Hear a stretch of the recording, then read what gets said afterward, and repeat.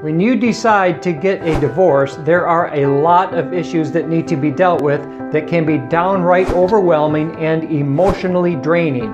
I know because I've gone through one myself. One of the most emotionally charged decisions that must be made involves deciding the fate of the family home. Hi, I'm Rich Barnes, owner broker of Realty Experts in West Allis, Wisconsin, 53214, and I am experienced in real estate divorce. If you're looking for a realtor to help you navigate through this transition, the family home is more than four walls and a roof. For most, it's the place where you've built a life with your spouse and often raised a family.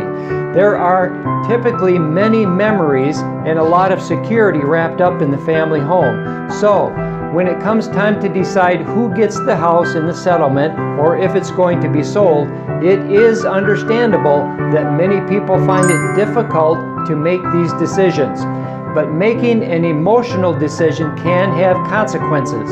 So if you early in the process and decide what to do with the family home, you do it sooner rather than later, it's better. While having these discussions, here are four key questions that you need to ask.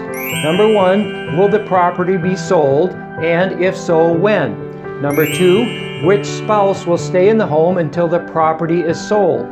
Number three, who will pay for the mortgage and other expenses associated with the home until it's sold?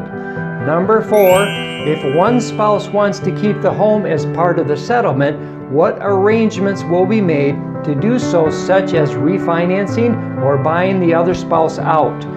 If you have agreed to sell the home, now is the time to find a reputable realtor to represent both of your interests and can best guide you through the process of selling the home while going through a divorce.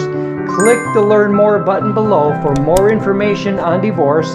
I'm Rich Barnes with Realty Experts LLC, and remember, as always, you can rely on rich.com. And please, I am not an attorney or a tax consultant. I'm just giving some helpful information, so be sure to speak with the appropriate parties during this difficult time. Thanks, and you have a great day.